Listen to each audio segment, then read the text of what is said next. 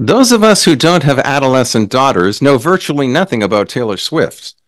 But as NFL fans, we're confronted with her each time Travis Kelce makes a big play. From the little I've heard, she's a best selling singer who has capitalized on relationship tribulations of young women, a sort of Me Too movement of pop music. I have no interest in Swift's personal life and wish her well. Nonetheless, what I do find tragic is the cultural ethos that continues to lead millions of young women to take solace in the premarital lamentations of this genre of pop music. Entertainers have a unique opportunity to influence the culture. Rather than leading young women to avoid lifelong regret, these women and their sponsors make money off their suffering. Sex and romance carry deep implications as human nature's bonding mechanism to create families. Rather than vent bitterness toward exes in their music, the message should be clear and unambiguous. Sex outside of marriage violates human nature to its core.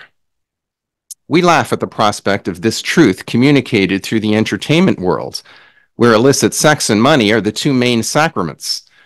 And as we know, the culture at large has been programmed to follow the fundamental ethic of our post Christian age adult consent. As long as one consents to an act, it's good. If not, it's evil.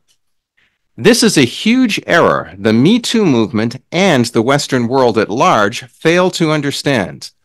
Abuse can happen even with full consent.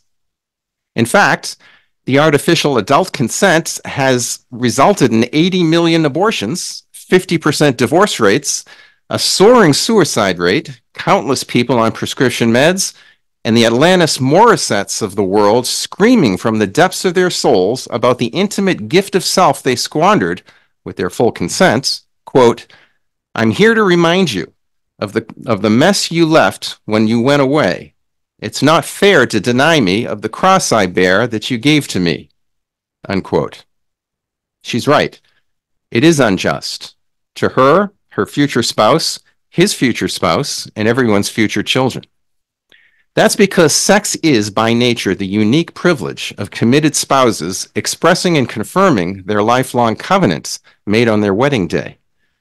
Anything contrary to this is objectively abuse, with or without adult consent.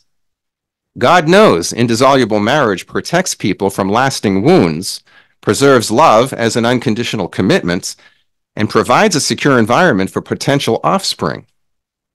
Unless pop stars communicate this truth with clarity, courage, and conviction, the elites will continue to make money off their message of so called women's empowerment, which is really just a cover for jaded hearts and broken dreams.